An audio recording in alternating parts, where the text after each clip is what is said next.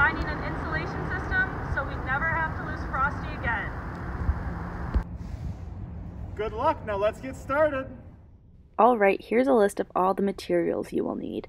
Two plastic cups, two paper cups, one foot of duct tape, five cotton balls, one foot of the tinfoil roll, two sheets of paper, scissors, sharpie, ice snow, a ruler, and any other household items you can think of.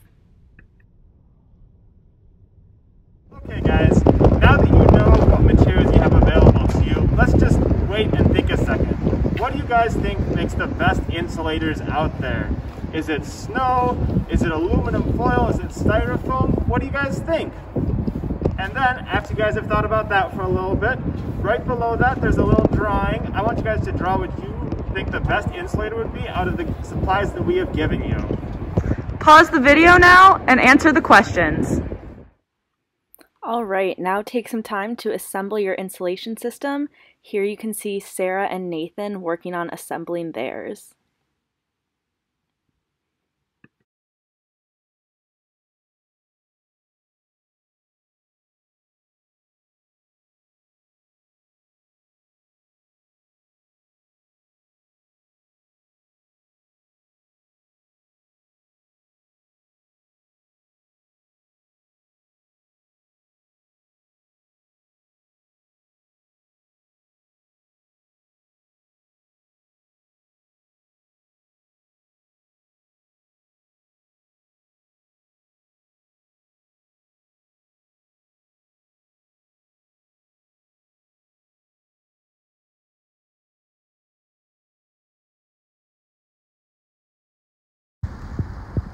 Assembled your insulation system, let's think. How much water do you think will be in the cup after 15 minutes? What materials were used the most and the least out of you and anyone who you're doing this project with? Take a second and write your answers down on the worksheet. Now go grab some ice or snow if you're in Minnesota to fill your cup with and wait for it to melt. This should take about 15 minutes, but if you want to see more dramatic effects, you can wait longer, about 30 to 45 minutes, or use a heat source on your insulation system.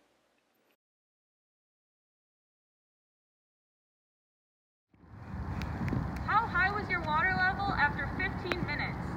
Was it higher or lower than the other groups?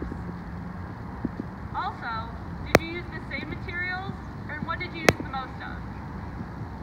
Take a minute and think about these questions and write it down on your worksheet. Here you can see Sarah and Nathan pouring out the melted ice from their cup to see how much water melted during the 15 minutes.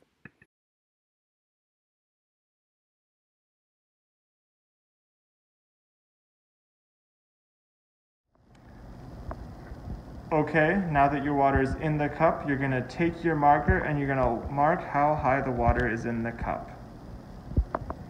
And then you're going to take the ruler and measure how far the line is from the bottom of the cup. The more water that you have left in the cup, the higher the water level will be.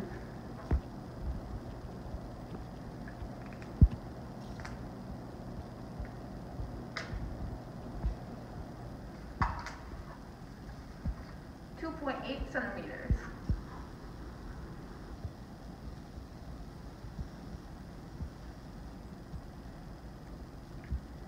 Three point three centimeters. Okay guys, so who had the higher water level?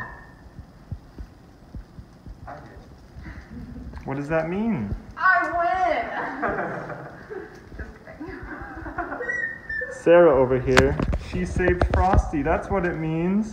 Woo! But they all did a great job.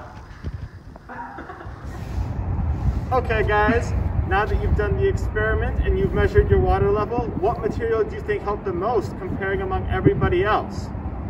And then after you've decided that, you guys can draw another insulator that you want to make, and then if you have time later, you can go home and make another one yourselves.